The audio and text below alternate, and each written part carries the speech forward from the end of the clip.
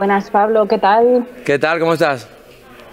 Muy bien. Bueno, este año los 40 Music Awards han vuelto con un eslogan muy claro, con todas las ganas del mundo. Cuéntanos un poco de qué te ha dejado ganas este 2020 y qué esperas con todas las ganas del mundo de 2021. Me ha dejado ganas de, de abrazo. O sea, evidentemente con toda la con toda la prudencia del mundo he podido abrazar y cobrarme todos los abrazos que no le he dado a los que no he podido con la gente que sí pudo abrazar. Espero que el, que el trabalengua se me entienda. Pero de verdad, aunque parezca pobre mi ambición, eh, estoy loco por abrazar. Abrazar a, pero a quien sea, ¿eh? O sea, estoy muy loco. Cuando se pueda, voy a ir por la, por la calle abrazándome a todo el mundo. ¡Hombre! ¿Cómo estás, amigo? Oye, Hace un año me dijiste eh, que estabas preparando una locura musical alucinante, lo has convertido en una sinfonía de 10 canciones brutales que nos han sorprendido por primera vez. Encontramos un disco tuyo donde no te vemos por ningún sitio, solamente te sentimos en letra y en sonido. ¿Qué historia, qué esta, esta sinfonía de historias, qué sinfonía, qué historia nos has querido contar en este, en este unicornio que ya le quedan poquitos días para, para ver la luz? ¿Y cómo le dirías a ese niño que jugaba en el patio que a lomos de ese unicornio por fin puede ser todavía más libre, Pablo? Un abrazo, amigo. Un abrazo fortísimo y gracias siempre por, por tu amor y por tu poesía eh, natural. Básicamente la historia de un tío que se asusta porque es un niño al fin y al cabo. De hecho, te puedo decir eh, cómo está dividido el disco en dos partes. El disco realmente son dos partes y te lo digo a ti porque me encanta decirte cosas a la caja de música, a ti. Eh, una se llama Mayday y la otra se llama Stay. Realmente es una, es una obra que, que va, va de seguido, que tiene sus movimientos y que nos representa a cada uno. Todos hemos tenido miedo algún día, supongo, todos hemos tenido miedo y todos hemos decidido eh, pelearnos contra ese miedo. Fíjate tú que es gilipollez, que sencillo, pues de eso va unicornio. Un día tuve miedo eh, y el niño una vez más salió a decirme, tío, si esto lo has provocado tú y es lo que quieres, cállate ya y disfruta y, sonríe, ¿no? Eh, básicamente es eso hay que tener miedo, porque si no, no eres humano, pero qué bonito es enfrentarte a ese miedo. Chao. Hola Pablo, ¿qué tal? Soy Héctor de César, de Más que Pop eh, TV. Un placer, Un placer estar aquí contigo. Oye, siguiendo con las historias eh, de mi compañero que te ha preguntado, a mí me llama la atención eh, Calypso, Colapso. El que Calipso, de mi amigo. Perdón, perdón, perdón, colapso. perdón, sí, sí. Eres tú, eh, eres tú, eres tú, eres tú. No, esa no, no es. No, no, no. Esa otra, ¿verdad? No, no, no. Colapso, sí. perdón, perdón. Eh, la historia, ¿podrías contarme eh, en quién te has inspirado? Porque en el vídeo es una historia muy desgarradora, estás muy, eres un gran actor, que lo sepas. No, no, lo, me gustaría... no soy buen actor, es lo que pasaba de verdad. me gustaría que me explicaras a quién va dirigido, eh, en quién te inspiraste y que es una historia muy, muy, muy sentida. Que me contaras un poquito la historia, si puede ser. Pues me he inspirado en Bueno, realmente, si, te lo dijera, realmente a lo mejor te mentiría. Las canciones evolucionan. Tengo muchas cosas en la cabeza, muchas historias y muchas personas. Que si quieres, mira, léeme los ojos y, sale el nombre y los apellidos, pero básicamente uno, uno tiene que saber quererse a sí mismo para, para poder querer luego.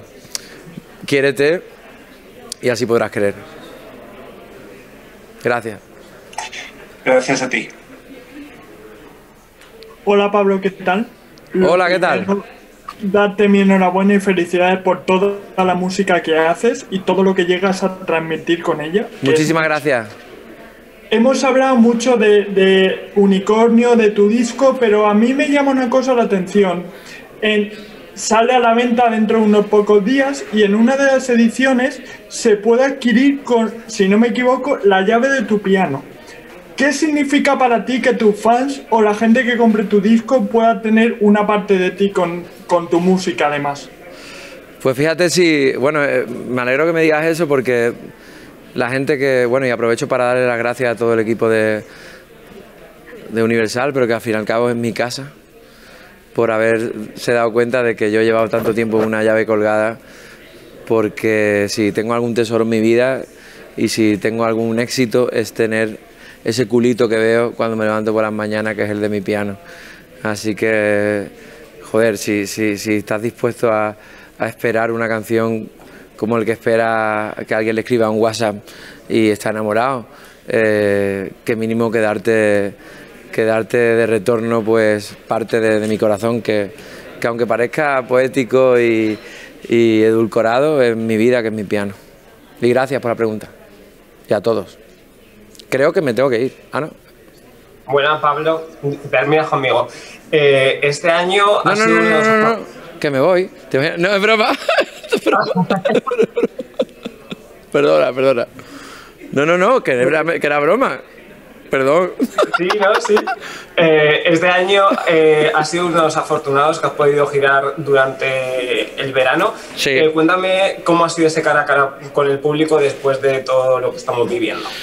Ha sido, ha sido un aprendizaje absoluto y más que, más que afortunado todavía, porque no solo eh, tuve la, valga la redundancia, la fortuna de, que, de tener un equipo de una gente que creían que podíamos hacer eso sin hacerle daño a nadie, sino unos locos hermosos que vinieron a cantar conmigo a cada concierto, que es el público, y no debería ir casa a casa, puerta a puerta, cuando nos dejen, agradeciendo que estuvieran en esos conciertos tan especiales, no atípicos, especiales, que, han sido la universidad de mi vida probablemente. Así, el 2020 ha sido la gira más importante de, toda mi vida, con mucha diferencia.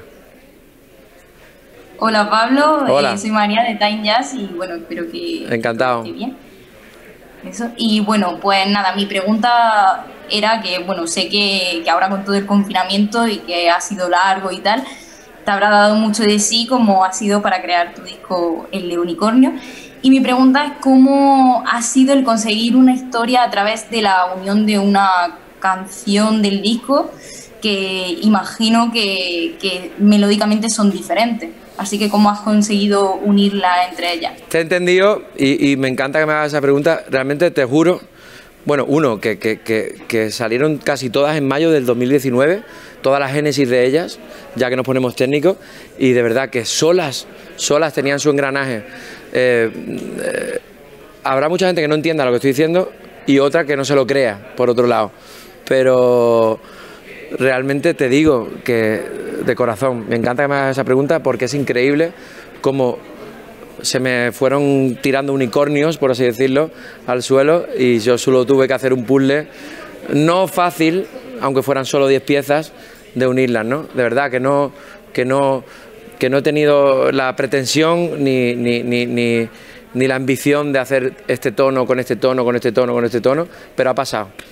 Así que gracias por el interés de cosas que no interesa a casi nadie, pero, pero mola que, me lo pregunte y gracias de verdad. Eh, gracias por todo, eh, por los que habéis podido, por los que no, por aguantarme y, y nada, y a volar. Qué bonito. Y salud.